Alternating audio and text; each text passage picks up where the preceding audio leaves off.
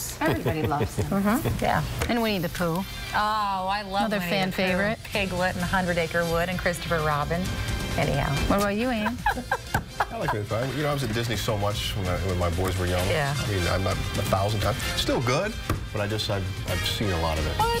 Huge Disney fan. Every birthday to party, day. everything oh, there. Hundreds of birthday parties there, and it's all good, but we kind of had enough. Lo- I love the golf courses at Disney.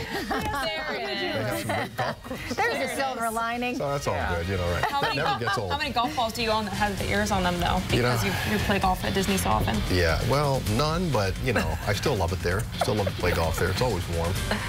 Good day, Philadelphia starts at 4 a.m. Woohoo!